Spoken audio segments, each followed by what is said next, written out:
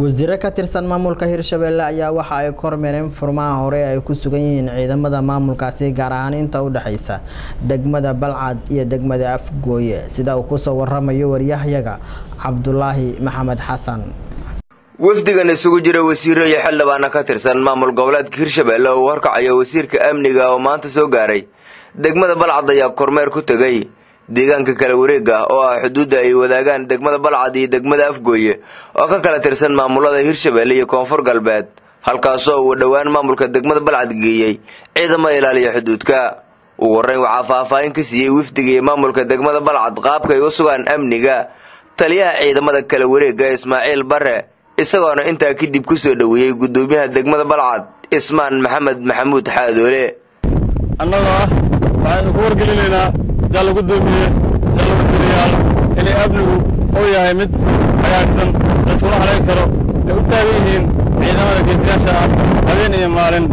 Inay maalin inay ka qabtaan difaaca dadkooda iyo dadkooda. Fadli tafal jalla guddoomiye ciidamadan ciidamadan waxay qayb ka yihiin waxay qayb ka yihiin degmada amnigeeda arrinta lagu hagaajinayo oo lagu hormarinayo in bulshada ay nabadgelyo waarta ay helaan. Ay ka hortagaan cid kasta ee amniga aqabad ku noqoto.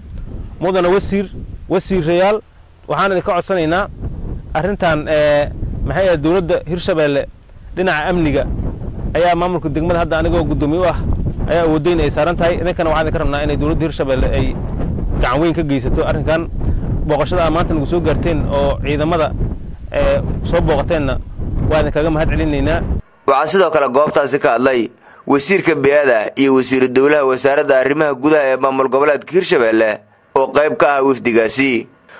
Marka hadda xarun xarumaha ka mid ayaan soo booqnay ciidamadu ay degan yihiin. Runtii ciidamo aad u fiijigan oo maarata shaqadooda haystaan ugu nimid. Aad iyo aad maarata arrinta xiritaanka uu bixiyo wasiirka amniga insha allahu. Runtii maanta waxaan kala soo qayb gallay degmada balcad iyo mataqaanaa maamulkeeda. Meesha la yidhahdo kala wareeg oo halbowlo ah amniga degmada balcad. Halkaasoo mataqaanaa ciidamo la dejiyey qorshihiisuna uu yahay inay amniga ka sugaan. Meesha la yidhaahdo mataqaanaa kala wareeg waa meel waa meel halbowlo ah. Waddooyin badan ay ka baxaan cadowgu ay ku soo geli karaan. Marka runtii in ammaankeeda la sugo waa waxaa weye waa daruuri. Ugu dambayntii waxaa halkaasi ka hadlay islamarkaana soo xiray wasiirka amniga maamulka hirshabelle maxamed ibraahim cali isagoona sheegay in ammaanka degmada balcad uu yahay mid la isku hadlayn karo islamarkaana ay ka dhici karto gogasha maamulka loogu samaynayo gobolka banaadir. Waxaan soo booqannay maanta degmada balcad degmadaas oo muddo yar oo kooban loo magacaabay maamul.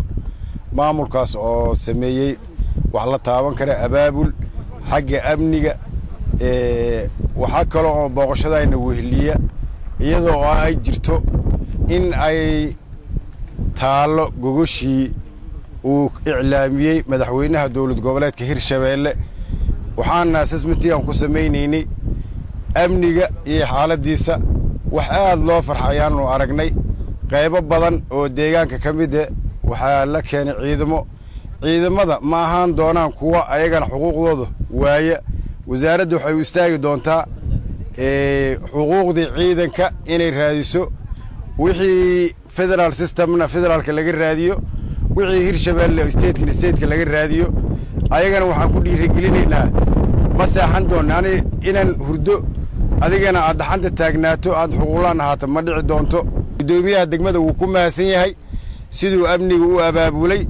Annagana farriinta waxaan gaadhsiin doonnaa madaxdii naga sarraysay inuu amniga oo degmada balcad uu yahay mid la isku hallayn kara shirkana uu ka dhici kara gogashana ay ka furmi karto.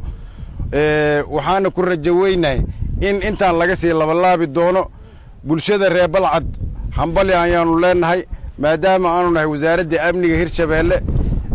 Baalkii waxaanu samayn doonnaa dadka al-shabaab wixii isi soo dhiiba waxaan u haynaa xiradii dhaqan celinta lagu bari lahaay xirfadda kuwa kale ee naga maqan waxaannu leennahay war ka faa'iidaysta cafiskii ladiin fidi. Haddaadan ka faa'iidaysanin wiilisheennaad tihiini ka faa'iidaysta. Haddaadan aadan ka faa'iidaysanin waxaa idinla tegi doonta seefta. Maalin maanta ahayn ayaad dhihi doontiin war maxaan maalinta ugu faa'iidaysan weyne cabdulaahi maxamed xasan telefishinka caalamiga somaali news. Degmada balcad gobolka shabeellaha dhexe